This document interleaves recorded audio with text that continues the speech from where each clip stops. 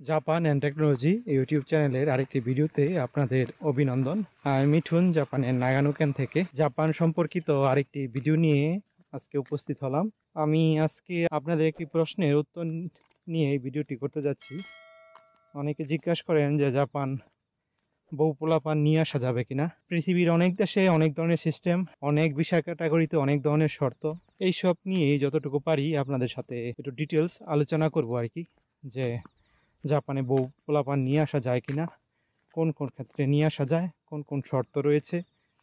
এবং বউ পোলাপানের বাহিরেও কাউকে নিয়ে আসা যায় কিনা? এসব দিক নিয়ে আলোচনা করব, কারণ আমাদের টার্গেট থাকে যে এই দেশে আমরা যদি ভবিষ্যতে সেটেল হই, সেক্ষেত্রে ফ্যামিলি মেম্বার নেওয়ার সুযোগ আছে কিনা? যাই হোক, আসেন ভিডিওটার ডিটেলসে যাই আর কি।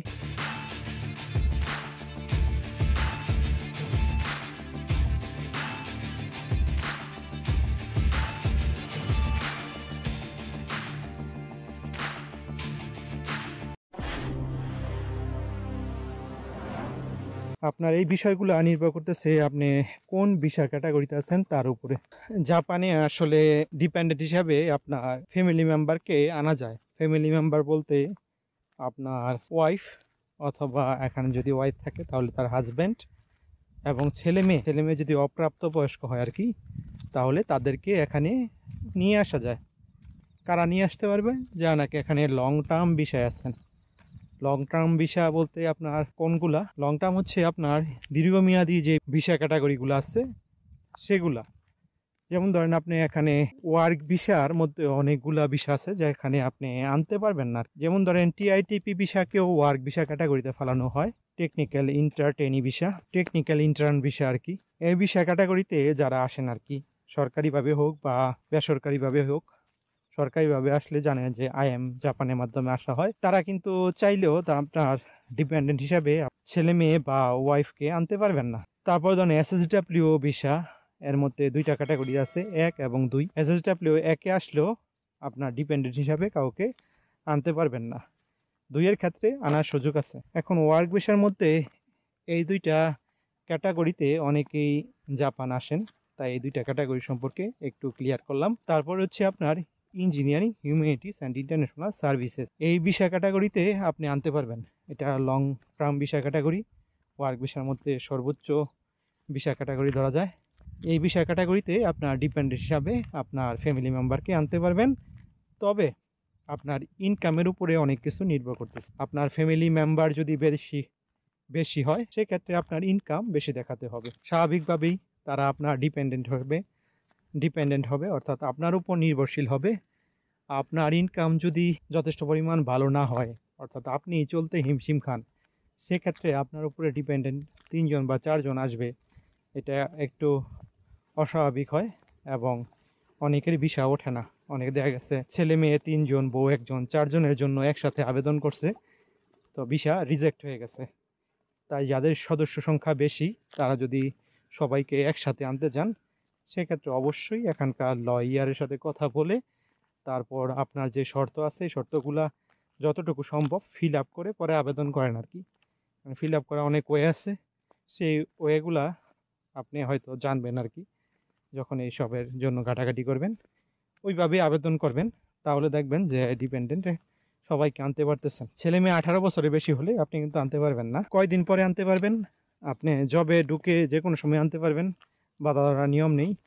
তো যা কোম্পানি থেকে যেহেতু বেশ কিছু কাগজপত্র লাগে, তাই একটু কোম্পানিতে ঢোকার পর স্থির হয়ে তারপর আনাটাই ভালো আর কি। অনেকে বলে তিন মাস, ছয় মাস, এরকম বাধা ধরা কোনো নিয়ম নেই আর কি। তো মাস দুই হলে সবচেয়ে ভালো হয়, কারণ যে স্যালারি সার্টিফিকেট দিতে হয় আর কি। স্যালারি সার্টিফিকেট শো করলে অনেক ক্ষেত্রে স্যালারি সার্টিফিকেট দিতে হয় বা তারা চায় আর কি। আগে থেকে দিলে ভালো। তো সেক্ষেত্রে আপনার এক দুই মাস না হলে আপনার স্যালারি সার্টিফিকেট পাবেন কোথায়? তাই কোম্পানিতে একটা সময় হলে পরে আবেদন করা ভালো আর কি। তারপর যারা এখানে বিজনেস বিষয়ে আছেন, তারাও আনতে পারবেন। যারা এখানকার পিআর পেয়ে ফেলছেন অলরেডি আর কি বা সিটিজেনশিপ তাদের তো আর কথাই নেই, তারা তো আনতেই পারবেন। এছাড়া আপনার ল্যাঙ্গুয়েজ কোর্সে আপনার অনেক ছেলে মেয়ে এখানে আসে। এই ল্যাঙ্গুয়েজ কোর্সে যদি আপনার নর্মালি স্কুলে আসেন আর কি, এই ল্যাঙ্গুয়েজ সেন্টারে সেক্ষেত্রে আবেদন কিন্তু করা যায় না। তবে আপনি যদি ইউনিভার্সিটির আন্ডারে আসেন, সেক্ষেত্রে একটা সুযোগ আছে আর কি। যারা নাকি ইউনিভার্সিটি স্টুডেন্ট অনার্স বা মাস্টার্স করতেছেন, তারা চাইলে আপনার আনতে পারবেন। তো প্রসেসটা একটু জটিল আর কি, যেহেতু আপনার নিজে ডিপেন্ডেন্ট নিজেই আপনার সচ্ছল না, সেক্ষেত্রে আপনার ডিপেন্ডেন্ট হিসাবে স্ত্রী বা স্বামীকে আনা প্রসেসটা একটু কঠিন আর কি। তো আনা যায়। তারপরে হচ্ছে আপনার যারা নাকি এখানে পিএইচডি করে মাস্টার্স করে, তারাও আনতে পারে আর কি। প্রফেসরের সাথে কথা বলে আপনার ব্যবস্থা করলে হয়ে যায়। তো এই আর কি, জাপানে আপনার বহু পোলাপান আনার সুযোগ রয়েছে। আসার পর পরই আনতে পারবেন। তো ভিসা ক্যাটাগরির উপর নির্ভর করতেছে আর কি, যে আপনি কোন ভিসা ক্যাটাগরিতে আছেন। ভিসা ক্যাটাগরিটা যদি লং টার্ম হয়, সেক্ষেত্রে আপনার আনা সম্ভব।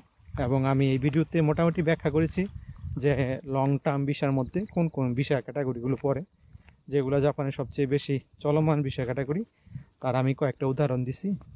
আশা করি যারা ভবিষ্যতে জাপান আসবেন আর কি, যারা দ্বিধাদ্বন্দ্বে আছেন বা যে আমি গেলে আমার ছেলে মেয়ে, বউ, এগুলো আনতে পারব কিনা, তাদের একটা উত্তর হবে ভিডিওটি।